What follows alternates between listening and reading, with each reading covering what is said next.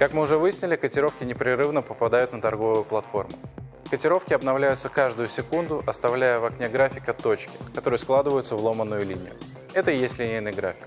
Зона под ним закрашивается, поэтому очень часто его называют зонным. Именно такое название вы найдете в мобильном приложении Olymp Trade.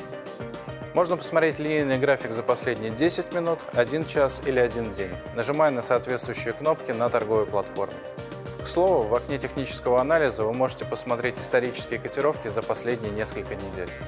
Линейный график лучше всего показывает общие тенденции на рынке, а также используется для торговли по тренду и для нескольких стратегий, например, скальпинг или стратегия бинарных гамбит для торговли на новостях.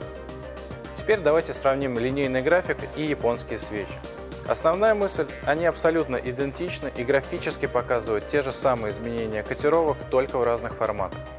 Внимательно посмотрите на 10-минутный линейный график и 10-минутный отрезок на 15-секундных свечах, и увидите, что движение там очень похоже. Давайте разберемся, что такое японская свеча. Рассмотрим это на примере 5-минутной свечи.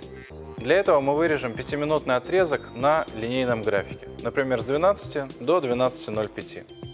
Посмотрите, как свеча справа простраивается относительно изменений на этом выбранном куске линейного графика. Нас интересует здесь четыре точки. Котировка открытия и котировка закрытия составляют тело свечи, закрашенную зону. В нашем примере котировка закрытия ниже, поэтому тело свечи окрашено красным цветом. Оставшиеся две точки интереса – это максимальное и минимальное значение внутри рассматриваемого пятиминутного отрезка. Такие котировки называются high и low и отображаются на свече в виде отрезков, которые называются тенями. Интересный момент – если котировки открытия, закрытия, минимума и максимума сохраняются, но при этом движение цены будет другим, например, таким, каким вы видите его сейчас на экране, то свеча получится точно такая же. Свечи бывают бычьими и медвежьими. Если свеча закрылась на более высокой котировке, то она красится в зеленый цвет и будет называться бычий, по аналогии с быком, который будто бы своими рогами поднимает цену снизу вверх. Если свеча закроется на более низкой котировке, то она окрасится в красный цвет и будет называться медвежий, по аналогии с медведем, который будто бы своей лапой бьет сверху вниз, тем самым двигая цену. Также существует несколько разновидностей свечей. Например, пин-бары, их характеризует небольшое тело и один ярко выраженный хвост. Дожи – это когда котировка открытия равна котировке закрытия. Свечи поглощения и так далее.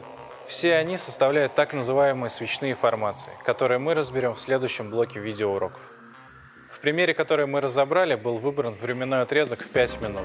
Разумеется, все вышесказанное верно и для остальных временных отрезков на платформе. 15 секунд, 1 минута, 5 минут и 15. Подавляющее большинство трейдеров торгует именно по свечному анализу. Как минимум потому, что большинство индикаторов разработано для японских свечей, а также потому, что мы можем там наблюдать более общую и чистую картину изменения цены. Теперь, когда вы знаете больше, вы сможете использовать торговые стратегии наиболее эффективно.